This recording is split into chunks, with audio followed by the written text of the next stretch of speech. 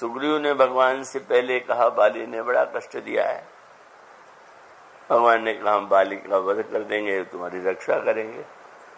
थोड़ी देर बाद बदल गए।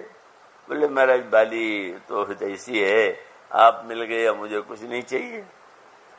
अब वो तो बदलता जा रहा है, अभी कुछ, कभी कुछ। और तब आनंद आया कि जिस समय भगवान ने कहा, समझाया कि यहाँ जो कुछ कहो, सत्य सब सोई, पर सखा बचन मम मिर्षा न होई।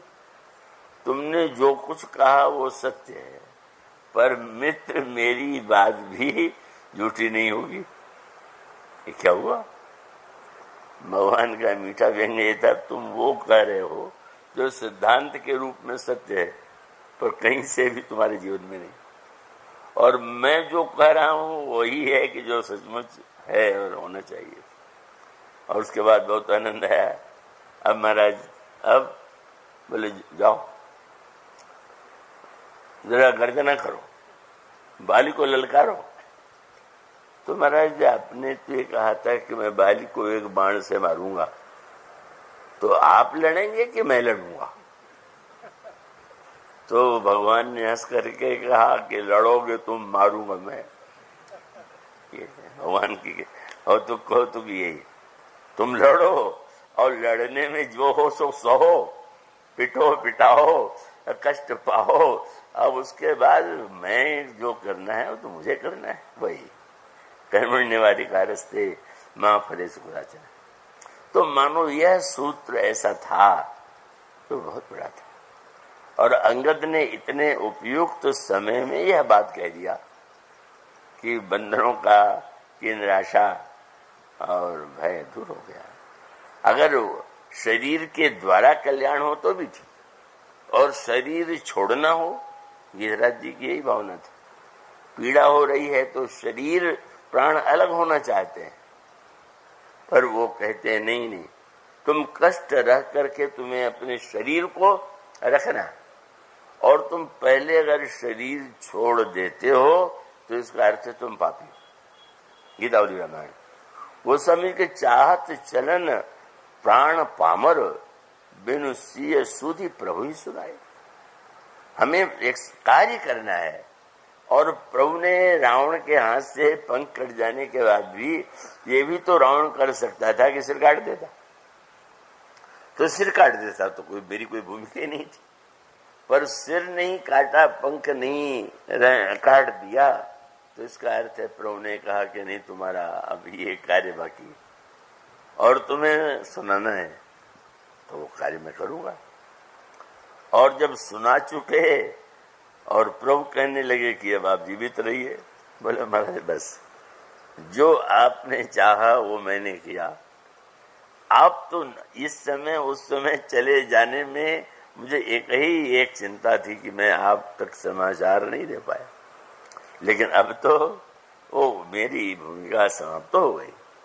और उस भूमिका के बाद फिर आपकी जैसा चाहते हैं वही होता है। तो मानो अंगद की यह विचार युक्त वाणी बड़ी दिव्य थी। और उस दिव्य वाणी से बंदरों को एक साहस मिला और परिणाम भी सामने आया। बूढ़े ये भी हैं, संपाति, पंख भी नहीं है, इतना असमर्थ देख करके। तब उसके बाद संपत्ति ने कहा, डरो मत। और तब जो चार सूत्र दिए जिसकी चर्चा कल प्रारंभ की गई थी, उन्होंने कहा कि क्या आप लोग, पहले तो मैं जो कह रहा हूँ उसे देखिए। वो समुद्र में लंका लंका में अशोक वाटिका अशोक वाटिका में जी बंदरों को नहीं दिखाई दे रहा है। तो बंदरों ने कहा, मैं देखूँ। गीध ने कहा, मैं देखूँ, तुम नहीं गीध दृष्टि अपार। बूढ़ भयऊ तो करते हूँ कछुक सहाय तुम्हार। जो लांग सत जो जन सागर करे सुराम काजमती आगर। इस सौ योजन समुद्र को जो पार करेगा को वही भगवान का कार्य पूरा करेगा। अब बंदर फिर हाथ पैर ढीले हो गए। दर्शन दिया ये कह दिया, खाएँगे नहीं। और कह दिया, वो बता भी दिया कि वो सीता जी और कह दिया, हम तो कुछ नहीं करेंगे। और ये भी कह दिया कि आप लोगों में जो मत यागर होगा, कब वो उस कार्य को करेगा? जब संपादी ने देखा कि ये तो कुछ घबराए हुए ही हैं, कथा का प्रभाव सब पर समान थोड़ी पड़ता। क्योंकि कथा कौन किस रूप में कैसे सुनता है, उसका तो सारे अगर श्रोताओं से पूछा जाए कि कथा आप क्यों सुनते हैं? तो इतने नए तरह के उत्तर, ये भोपाल में मैंने देखा कि समाचार पत्र वाले कुछ संवाददाता जाके अलग अलग श्रोताओं से पूछते हैं, आप कथा कितने दिनों से सुन रहे हैं? फिर पूछते हैं, क्यों सुन रहे हैं? उससे आपको क्या लाभ हुआ? तो उनका अलग अलग उत्तर होता है। और एक उत्तर तो मैंने जो सुना हो तो कभी मैं भूल ही नहीं पाता। और वो जबलपुर का था, एक श्रोता ऐसे थे कि जो सबसे पहले कथा में आते और उतनी महँगी माला की कोई नहीं, उतनी माला माला लेकर के आते, मुझे पहना देते और वो बैठे रहते। मैं वंदना करता तो भी बैठे रहते, कीर्तन में भी बैठे रहते। पर जो ही कथा मैं करता प्रारंभ वो उठ के चले जाते। पहले दिन तो लगा कोई कार्य जल्दी का होगा और जब दो तीन दिन वही तो मुझसे नहीं रहा गया।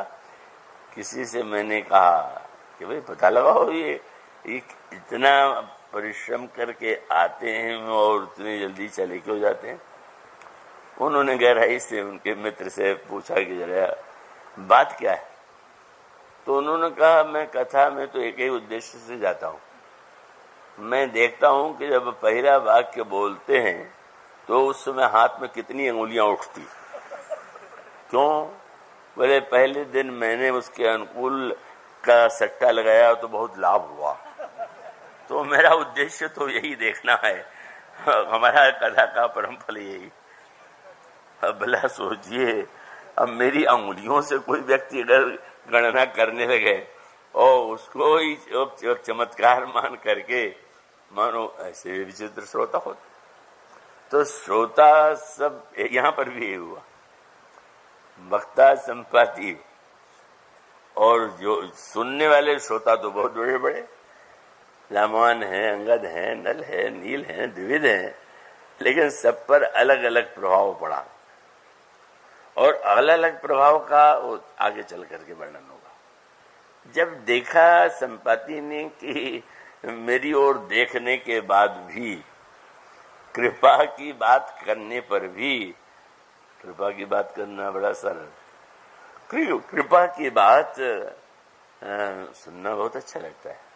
दो तो दिन पहले देवी किसी देवी ने आके कहा मुझसे भावुक भक्त थी ऐसी कृपा की व्याख्या आपको छोड़ करके कौन कर सकता? तो व्याख्या कर सकना एक अलग बात है, भगवान व्याख्या यदि करा देते हैं तो वक्ता की वाणी के द्वारा करा देते हैं। लेकिन वो वाणी से निकला हुआ सत्य जब जीवन में उस वो हम अनुभव कर सकें और उसे साकार कर सकें तो बोलने और सुनने वाले की सब सफलता। इसलिए उस समय संपाति ने सोच लिया कि अब यहाँ से मुझे चले जाना चाहिए। जो मेरा कार्य करना था, वो मैंने कर लिया। और अब अगर मैं रहूँगा तो ये लोग मानेंगे नहीं। फिर पूछने लगेंगे, कैसे, कौन, क्या, कैसे? तो इसलिए कह दिया, हमने बता दिया। और याद रखो कि हम बूढ़े हैं। और बूढ़े हैं और तुम लोग जवान हो। तो अब बूढ़े हो के हम आपको सलाह बता रहे हैं, ऐसा करना चाहिए। और उसके साथ साथ मैं और भी सहायता करता, पर मेरी सीमा तो समझिए। ऐसा कह करके संपाति ने जाते समय चार वाक्य कह करके जीवन और पुरुषार्थ, कृपा, जीवन का लक्ष्य, सबका वर्णन कर दिया। तो आप लोग ध्यान से सोचिए। लगता है कि आप भूल गए हैं कि आप कौन वेदांत का कार्य क्या है? का कार्य तो केवल आपका जो अपना स्वरूप है उसको याद दिला देना और प्रभु श्री रामभद्र भी रामचरित मानस में यही तो कहते हैं। भगवान ने कहा, मेरे दर्शन का फल तो सबसे अनेका है। क्या महाराज, दर्शन उन्होंने राज्य दे देते हैं, कि संपत्ति दे देते हैं, कि पद दे देते हैं। कि सारा सारी विद्या दे देते हैं। भगवान ने कहा, कोई मांगे तो दे भी देता हूँ। लेकिन जो वस्तु मैं देता हूँ, वो एक ही है। क्या? मम दर्शन फल, परम अनुपा। क्या? बोले, जीव पाव, निज सहज स्वरूप। जीव अपने स्वरूप को भूल गया है। और भूल जाने के कारण ही वो जो है, वह न मान करके जो नहीं है उसने वो मान लिया। तो मेरे दर्शन से उसको केवल अपने स्वरूप ज्ञान की स्मृति हो जाती है।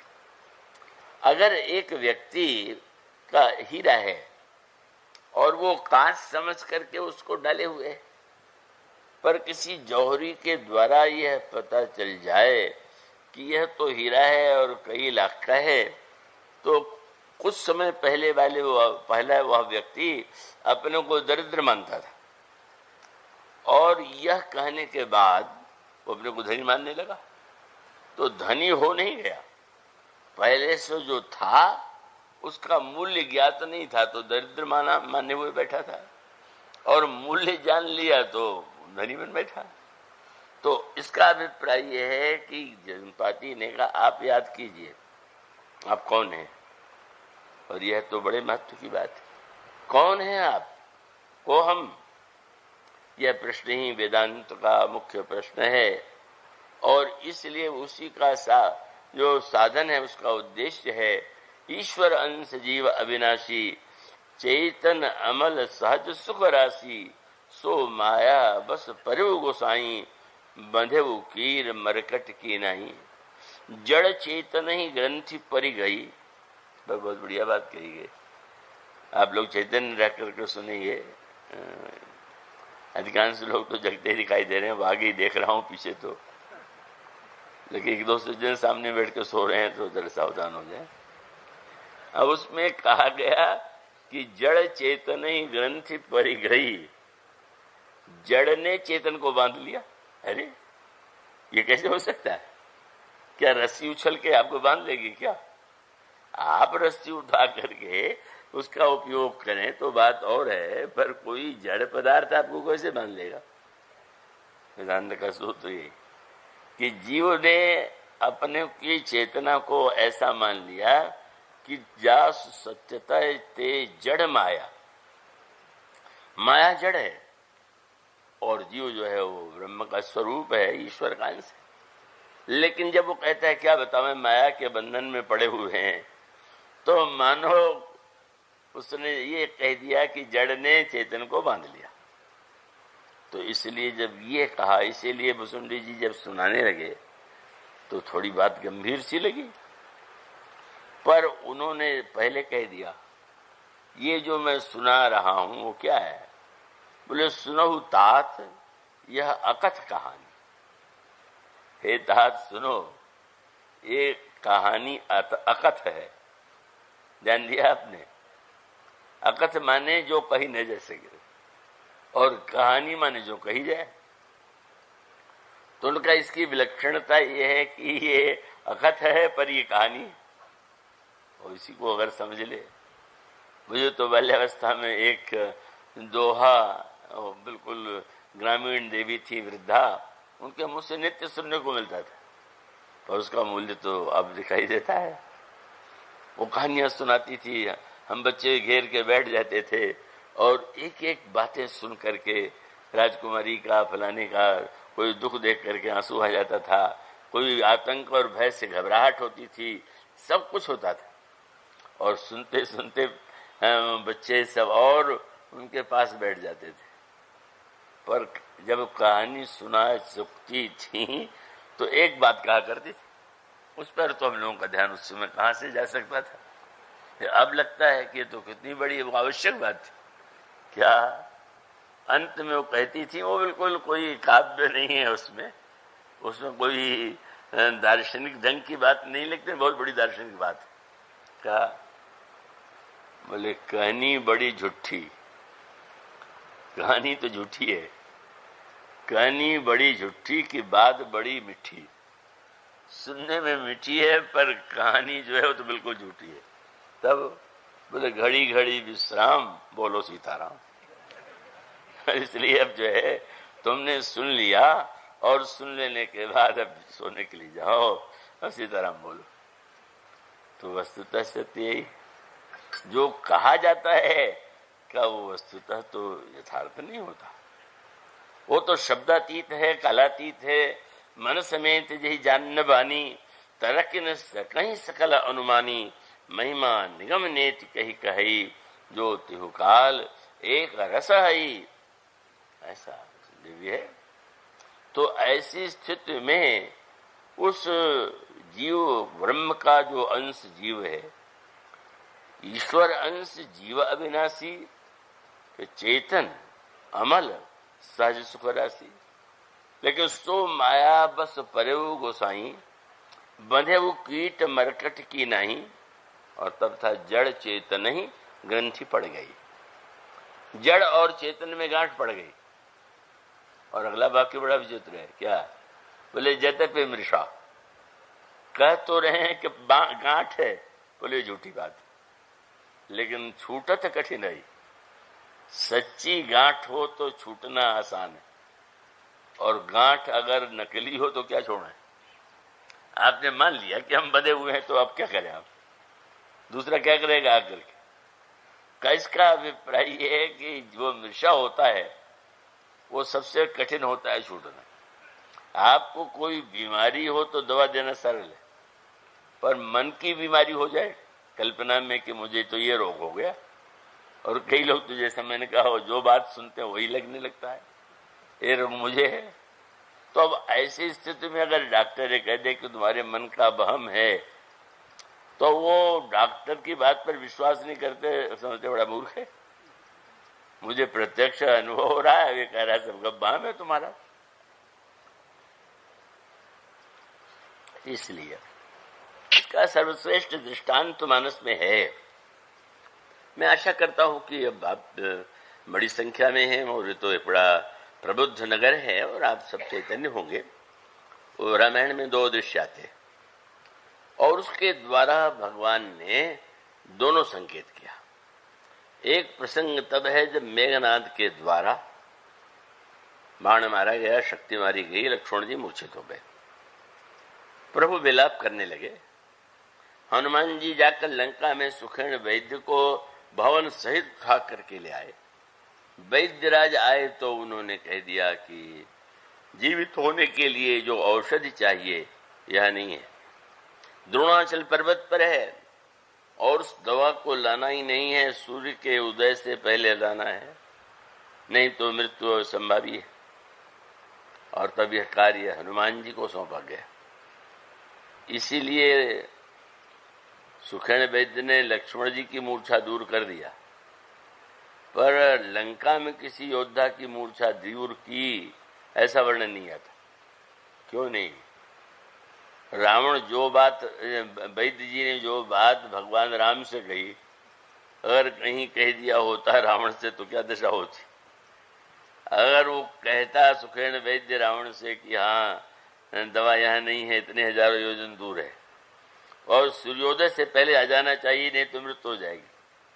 तो रावण पहले वैद्य की पिटाई करता कि दवा मंगा के रखते हो कि समय पर कहते तो ले आओ। उसमें भी शर्त लगा रहे हो। तो भाई जी समझ गए न बोलने अच्छा पर भगवान राम तो विश्वास कर रहे हैं। कह रहे हैं तो ठीक है। और कह रहे हैं तो ठीक है तो प्रभु ने ये संदेह होना, तर्क से संदेह होना स्वाभाविक। रावण लंका, सुखेण वैद्य लंका के हैं। तो रावण के वैद्य हैं। तो उसकी बात सुनकर के भ्रम तो यही हो सकता था कि ये चतुराई से लक्ष्मण को न बचाने के लिए बहाना बना रहा है। कि ऐसी बात कह दे कि वो हो न पाए और हम कैसे क्या बतावे? दबा समय पर नहीं आ पाई। प्रभु ने कितना विश्वास किया। लंका के वैद्य पर विश्वास किया। लंका के वैद्य की वाणी पर विश्वास किया। और हनुमान जी को एक कार्य सौंपा गया। हनुमान जी कितनी लंबी यात्रा करके गए और समस्त विघ्नों को पार करते हुए अंत में दवा लेकर के आए लक्ष्मण जी की, को वैद्यराज ने दवा दी, मूर्छा दूर हो गई। प्रभु ने हनुमान जी को हृदय से लगा लिया। वैद्यराज को नमस्कार किया और हनुमान जी फिर वैद्यराज को भवन सहित लंका जाए पहुँचा करके चले आए। पर एक नई बात हो गई। अब रावण ने भी एक बार प्रयोग कर दिया शक्ति का। और फिर लक्ष्मण जी जो है, मूर्छित हो गए। और लक्ष्मण जी जब मूर्छित हुए तो पहले भी मेघनाथ के द्वारा मूर्छित करने पर भी मेघनाथ उठा नहीं पाया था। और रावण ने जब मूर्छित कर दिया तो भी लक्ष्मण जी को नहीं उठा पाया। वहाँ भी हनुमान जी गोद में लेकर के प्रभु के पास आए और रावण के द्वारा शक्ति लगने पर भी प्रभु उठा के ले, हनुमान जी ले आए। बंधनों को लगा, क्या सुखेण वैद्य को फिर से बुलाया जाएगा क्या? रावण ने जाने कितना प्रबंध कर दिया होगा कि कोई वैद्य को ले जाने न पावे। और फिर क्या कितना समय लगाओ कैसा प्रभु ने विलाप किया, सब लोग दुखी हो गए। फिर से वो अवसर आ रहा है। पर बंदरों ने आश्चर्य से देखा, क्या? प्रभु ने तो वैद्यराज को भी बुलवाया नहीं। हनुमान जी को दया दवा लाने का काम भी नहीं सौंपा। अरे, क्या आज क्या बात? और जब प्रभु लक्ष्मण के कान के पास अपना मुख ले गए तो उसमें मूर्छित लक्ष्मण के कान में क्या करें और तब जानते हैं आप, प्रभु ने लक्ष्मण जी से कहा, कितनी बार मूर्छित हो गए? तुम भूल गए कि तुम कौन? ये स्वरूप ज्ञान। औषधि के द्वारा रोग का निवारण, उनका एक वाक्य था लक्ष्मण तुम कृतांत भक्षक सुरता था। तुम तो काल को खाले वाले तुम लक्ष्मण हो, अनंत हो। और सुनत बचन उठे। हर्षित उठ। लक्ष्मण जी मुस्कुरा करके बैठ गए। हनुमान जी ने चरणों को पकड़ करके कहा कि कैसी बड़ी अलीला आपने की। अगर मुझसे फिर वैद्य बुलवाते दवा मंगवाते तो लायक समझ में आता कि मैं न होता तो ये काम कैसे होता। पर आपने तो मेरा अभिमान दूर करने के लिए दिखा दिया कि आपने तो लक्ष्मण जी के स्वरूप का स्मरण करा दिया और उतने में मूर्छा दूर हो गई। तो ये स्वरूप का संबंध का जो ज्ञान है, यही वस्तुतः मुक्ति है। जीव इसको भूल गया। संबंधियों का नाम गिनाने के लिए किसी से कहिए तो दस्त नाम गिना देगा। और कभी कभी तो इतना घुमावदार संबंध बतावेगा कि सुन के समझ में नहीं आता कह क्या रहा है। उनके ये, के ये के ये। किसी न किसी तरह से बड़े नेताजी से या बड़े पदाधिकारी से कोई न कोई संबंध तो बनानी है इतनी गुत्थी पर सारे संबंधियों का नाम गिनाने पर भी वह संबंधी जो आपका अनादिकाल से अनंत काल तक संबंधी रहने वाला है। उस संबंध को हम भूल गए। हम भूल गए, हम किसके संबंधी हैं? और जिन लोगों के हम संबंधी हैं, वो बेचारे स्वयं भी वैसे ही हैं। उन्नीस बीस कुछ न कुछ उनके सामने भी है। इसलिए याद रखिए। और यही शब्द संपाति ने कहा। आप लोग जो इतने घबराए हुए हैं, इसलिए कि आप भूल गए कि आप कौन है। आपको केवल यही याद रह गया कि मैं तो देवताओं के रूप में, बंदरों के रूप, देवता बंदर बन के आए हैं। हम हम उसके पुत्र हैं, हम उसके पुत्र हैं, हम उसके पुत्र हैं। लेकिन अगर ये स्मरण कीजिएगा, जामवान जी ने कहा, हनुमान, पवन तनय बल पवन समाना। तुम तो पवन के पुत्र हो, तुम में तो पवन के समान बल है। पर हनुमान जी के कान पर जो कुछ नहीं, आश्चर्य हुआ। पवन तनय बल पवन समाना और बुद्ध विवेक विज्ञान निधाना। कौन सो काज कठिन जग माही, जो नहीं हो तात तुम पाई फिर भी हनुमान जी पर प्रभाव नहीं पड़ा। क्यों? अगर हनुमान जी कहीं ये मानने की भूल कर बैठते कि ये पवन के पुत्र हैं, और पवन के समान बलवान हैं तो पवन से तो रावण पंखा जलवाता है। वो तो रावण की सभा में उनकी कोई हैसियत ही नहीं। इसलिए पवन पुत्र बन करके नहीं, मन उसका अर्थ ये था कि आप लोग संसार के सारे संबंधों को याद कर रहे हैं और जो सबसे बड़ा संबंध है, आपको किसने भेजा है? क्यों भेजा है? जिसने भेजा वो कौन है? आप यदि यह याद करने तो बस एक शब्द, पहला उन्होंने यही कहा, बस। केवल याद रखिए कि आप श्री राम के दूत हैं। बड़ा अद्भुत शब्द है। समय भाव से इसकी चर्चा नहीं हो सकेगी। ये दूत शब्द जो है, बड़ा अद्भुत। माने रावण तो दूत को बड़ा तुच्छ मानता है और रामायण में दूत को सर्वश्रेष्ठ मानता है। ये अलग प्रसंग है। अंगद को तो रावण ने यही, अंगद से रावण ने कहा कि अरे, तू बालिका बेटा होकर करके निज मुख तापस दूत कहा अपने मुख से तू इतने बड़े योद्धा का पुत्र होते हुए उस वनवासी के दूध बन गए। तो इतना तुच्छ काम तुझे दिया गया राजा न बना के दूध बना दिया गया रावण मानता है दुख दूध की क्या हैसियत? दूध का क्या दूध का क्या महत्व? और इसलिए कह दिया कि अरे और तब अंगद ने और इतना व्यंग किया रावण ने। अच्छा तुम अंगद के पुत्र, तुम बाली के पुत्र हो तो आजकल तुम्हारे पिताजी कैसे मरने के बाद पहले नहीं कहा। ये कहा कि कैसे हैं? मानो बोले, भूल गया हो तो याद दिला दें। जो संसार के संबंध की याद दिलाए वो रावण है।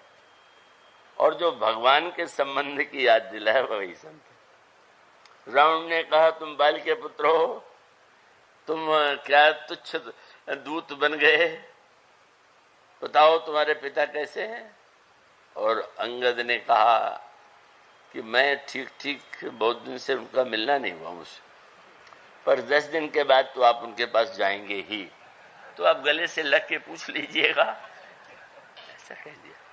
कह दिया, दिन दस गए, बाली पह जाई और तब ये कहा, अरे रावण जो जिन प्रभु के चरणों का, ब्रह्मा और शिव भी उनका चरण चाहते हैं, उन्होंने कृपा करके दूत बना दिया। और तासु दूत होए हम कुल बोरा, ऐसो मतिबुर विहर न तोरा। भगवान का दूत बनना एक तुच्छ कार्य है, ये तेरी बुद्धि जो है, कितनी निकृष्ट है, ये सिद्ध करता है। तो सचमुच रामदूत का याद स्मरण कीजिए, आप राम के दूत। पर रामदूत शब्द के पीछे क्या क्या छिपा है, उसकी चर्चा तो कल ही करनी होगी। बोलिए, सियावर।